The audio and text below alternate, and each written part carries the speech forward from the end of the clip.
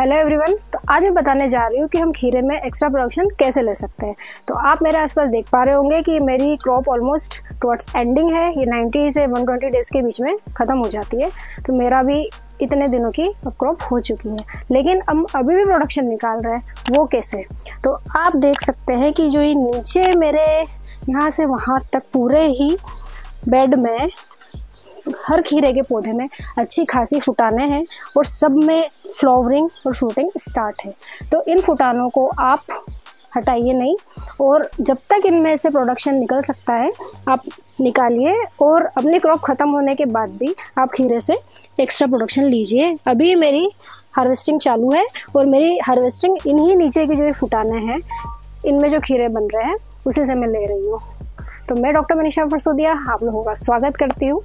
हमारे इस YouTube channel पर और खीरे के बारे में आपको और भी जो जानकारी चाहिए, आप मेरे चैनल को लाइक शेयर और सब्सक्राइब कर सकते हैं।